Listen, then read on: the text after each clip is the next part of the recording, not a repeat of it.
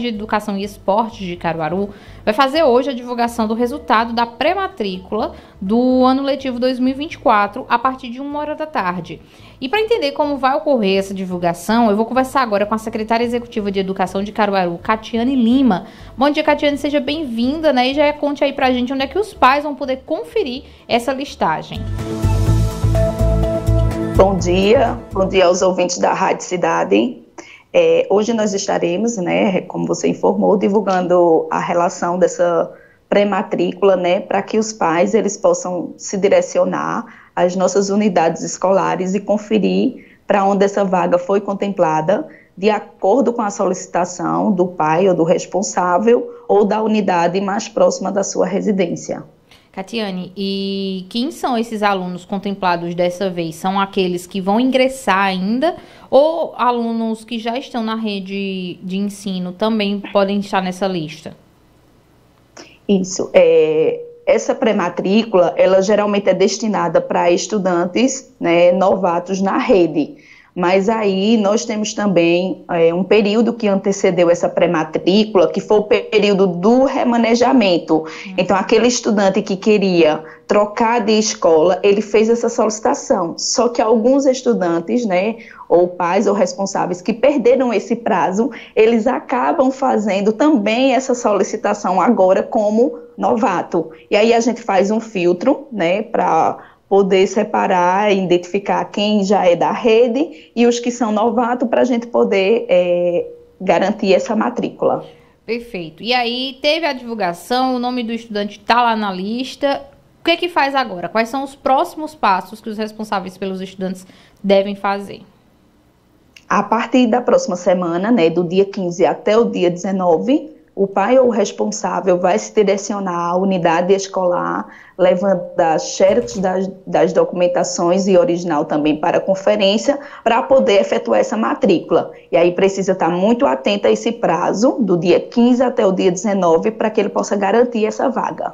E quem perder esse prazo, né? Que a gente sabe que muitas vezes é, passa, tem algum problema que o responsável não consegue ir para fazer essa efetivação. O que é que faz para quem perdeu esse prazo aí dessa, dessa efetivação, Catiane? Isso. Quando ele perde essa, esse período, essa vaga ela volta, né, como se fosse para o sistema disponível, e aí eles não precisam mais efetuar nenhum cadastro. Eles vão ter que ir diretamente na escola, que a gente chama de matrícula de balcão, né, para ver justamente onde é que tem essa vaga, e agora sim ele poder novamente né, é, fazer a, a matrícula agora. E a documentação para fazer a efetivação é a básica, né? É, certidão de nascimento, documentação dos pais.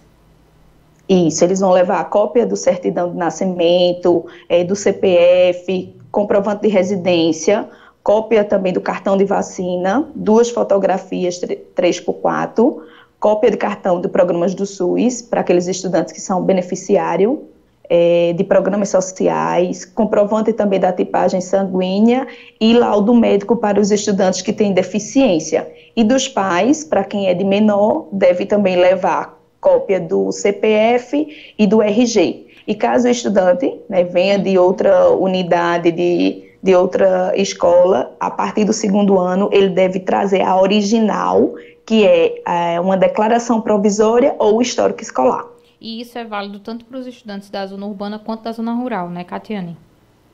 Isso, para toda, para toda rede e para toda faixa, né? Da creche até a EJA.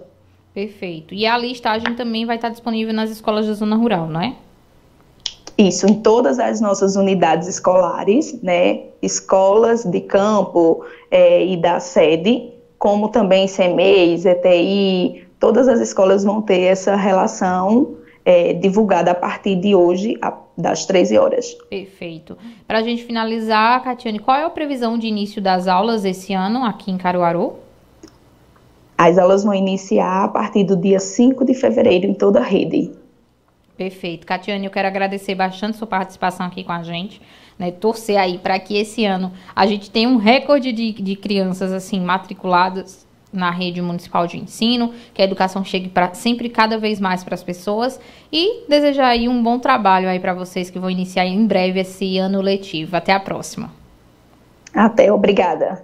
A gente conversou agora com a secretária executiva de Educação de Caruaru, a Catiane Lima, falando sobre né,